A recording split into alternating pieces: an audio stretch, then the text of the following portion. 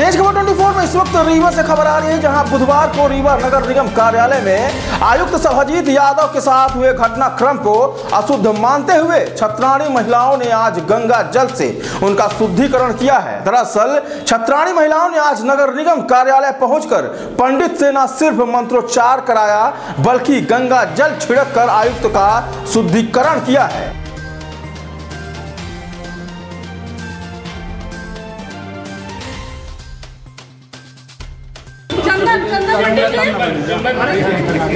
परंपरा पूरी हो जाए पंडित जी। हे पंडित जी थोड़ा सा जगह दे देना जगह दे देना बस हाँ पंडित जी हो? है छत्राणी महिलाओं का कहना कि चूड़ी तोड़ने की घटना अशुद्ध मानी जाती है, जिसके लिए शुद्धिकरण ज़रूरी था।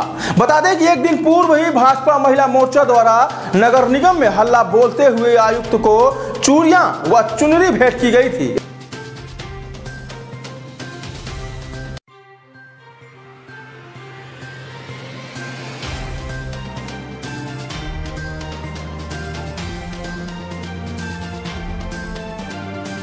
इस दौरान आयुक्त के कक्ष में चूड़ियाँ भी तोड़ी गई थी।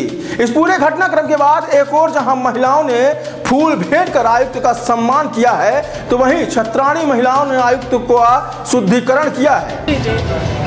तो ये इसलिए किया गया है कि हमारे प्रशासनिक सेवा में मौजूद हमारे आईएएस अधिकारी, हमारे कमिश्नर साहब एक प्रशासनिक सेवा में रहते हुए उन अधिकारियों का इस तरह से चूड़ियाँ तोड़कर महिलाओं द्वारा अपमान किया जाना बहुत ही निंदनीय कृत्य है जिसके लिए इसके कारण हमारे समूचे रीवा की सारी नारियाँ बिल्कुल शर्मसार है और ऐसा आगे चल के ना हो इसलिए सारी रीवा भर की महिलाएँ आई हैं और इनका फूल पुष्प गुच्छ के द्वारा इनका सम्मान स्वागत करते हैं और इनका सम्मान वापस करते हैं और इनका कार्रवाई होनी चाहिए क्योंकि हाँ।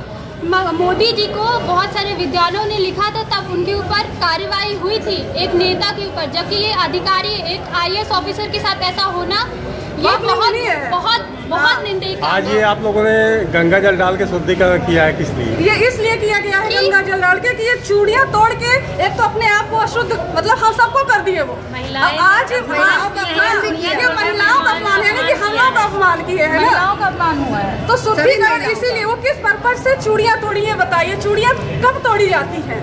है ना ये तो आप सब समझ रहे हैं ना? तोड़ना और एक बात और हम बता दें कि यहाँ हमें राजनीतिक दल से कोई मतलब नहीं है। हम सब समाज से जुड़े हुए हैं। चाहे किसी भी राजनीतिक दल का कोई भी यहाँ ऐसा कृत्य करेगा उसके खिलाफ हम लोग हमेशा ऐसे ही खड़े रहेंगे। हमारे रीवा में ये कहीं नहीं कभी भी नहीं होना चाहिए।